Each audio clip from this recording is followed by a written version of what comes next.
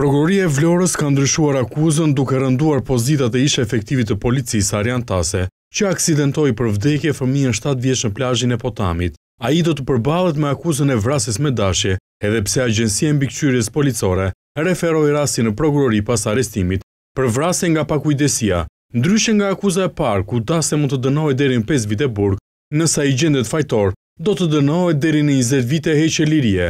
Burime për ABC bëjnë me dije se Tase ishte pajisur me patentë për të drejtuar mjete lundruese dhe për shkak se ka kaluar kordonin e sigurisë, ka rrezikuar jetën e pushuesve që ndodheshin në këtë perimetër. Tase do të dalë të premten në orën dhjetë e tridhjetë në Gjykatën e Vlorës, ku tashmë do të përballet me akuzën e vrasjes me dashje. Ndërkohë gjatë marrjes në pyetje, ai ka treguar për hetuesit se gomonja të cilën ai drejtonte, i doli nga kontrolli në momentin që i dha gaz dhe nuk e kishte parë fëmijën që gjendej në pjesën e pasme që humbi edhe jetën. Paraditen e së enjtes, familja Avdia u vizitua nga drejtori i përgjithshëm i Policisë së Shtetit, Gledis Nano, ndërsa u shpreh se ishte aty si prind.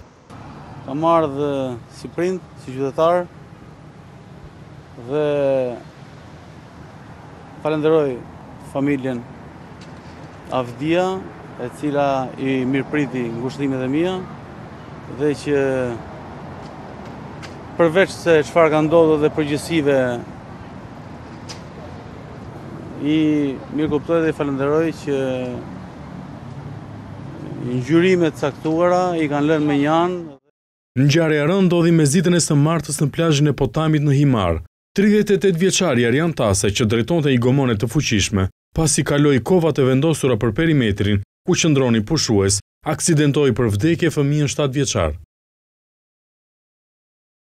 Lajmi më i shpejtë në celularin tënd.